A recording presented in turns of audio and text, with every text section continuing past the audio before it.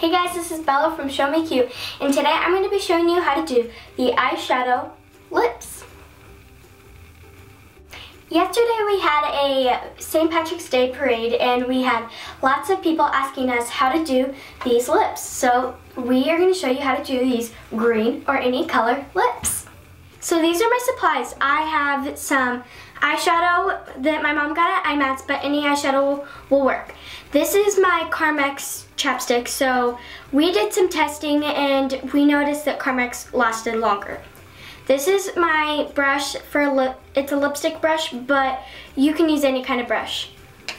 Step one, put the Carmex evenly around your lips. Step two is we are gonna start by taking your, picking your color out and I'm just gonna mix these three, four green colors together.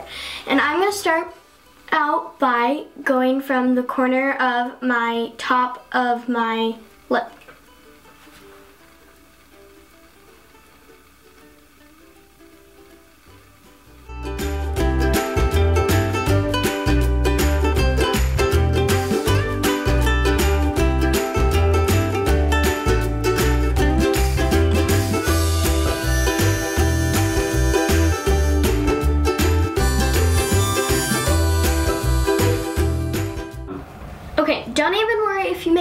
Ups. I even did, so um, if you do, you can fix it with a handy dandy Q-tip.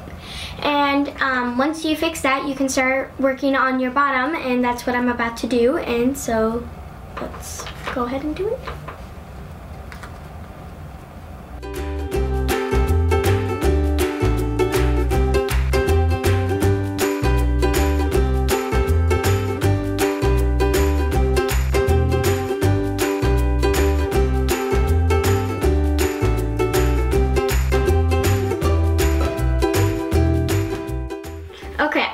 Ready to go. I'm ready to go to go show off my lips. And so if you like this video, let's give it some thumbs up. And I hope you have a good St. Patrick's Day. Bye.